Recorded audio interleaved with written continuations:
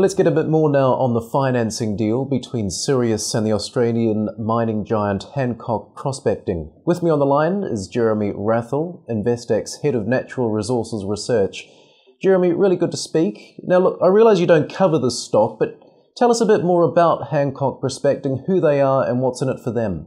Well, I think it's important to, to be to be clear that Hancock Prospecting is one of um, Australia's sort of iconic companies, having uh, Lang Hancock, um, the father of Gina Rinehart, uh, discovered effectively discovered the the Pilbara, the uh, the biggest iron ore, one of the biggest iron ore producing regions in the world, uh, back in uh, just after the war, in fact, the Second World War, um, develops it into what we know now as as one of the biggest um, iron ore producing areas of the, of the world, as I said. So.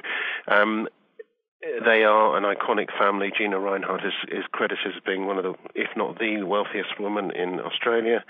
Um, and you know really a family very much with their roots in mining. So I think this is a great endorsement of Sirius. Now, look, you've been taking a close look at the terms. How do they stack up against similar deals in the industry? I think that they, they stack up pretty favourably. I mean, I think that the, the Australian government um, gets a royalty of about 7.5% from their iron ore um, uh, production, well, the areas that, that, that iron ore is extracted. So I think it's it's reasonably uh, similar. Um, it is, I think, compared to others, relatively high, but that's what you'd expect, given that this is money that is, um, you know, for a project which is still, as any mining project, is risky. So it's it's only it's conditional upon 630 million dollars of the total 1.1 billion dollars of stage one being spent. So it's not immediately available as far as I can see.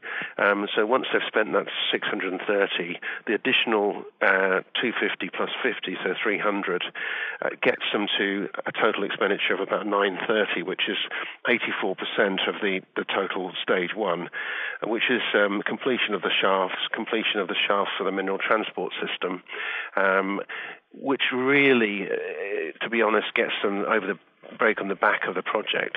So once the shafts are down and the, and the foundations are in for the uh, mineral transport system, you know, the project is well and truly on its way. And the stage two is actually financed by largely debt and is, is expected to be about another. Um, from recollection, 1.8 billion dollars. Um, but as I said, that's that's mainly fund, funded with debt. So I think that you know this deal will attract other um, financiers to come forward. Um, a lot of the stage one financing has to be done, some with equity, some with uh, structured products, and I think that is a, a major endorsement of, of this project. So, look, clearly, still a long way to go. Then, what are the uh, the ramifications for UK PLC if and when they do manage to pull this thing off? I think I think they are very very important in post Brexit world. That this project is a major um, US dollar earner and will be a major construction project for the UK. Um, you know, hopefully, a lot of the, you know, certainly a lot of the workforce will be UK sourced for construction and and actually operation. It brings employment to a, an area of the UK that has seen a lot of um, employment vanish because of the death of the steelworks there, the steel industry. Um, I think it's it's very good. I mean, it, it obviously um, a US dollar earner is very positive. So I think the government, I hope, will welcome it with open arms, as they would any investment of this size in the UK. Look, if they manage to push the button today, have we got a rough timeline on when things could get underway? Yeah, we have indeed. Uh, from the Sirius presentation, if they push the button today, uh, they reckon six years to first product. So we'd probably see things at the back end of 2016 already. Can you believe it?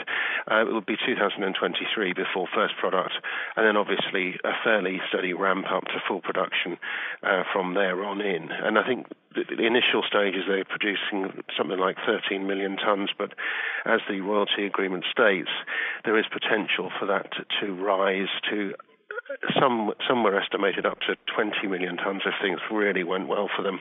I think they'd have to do further expansion of the hoisting facilities in the shaft, but um, certainly it could be possible according to the company.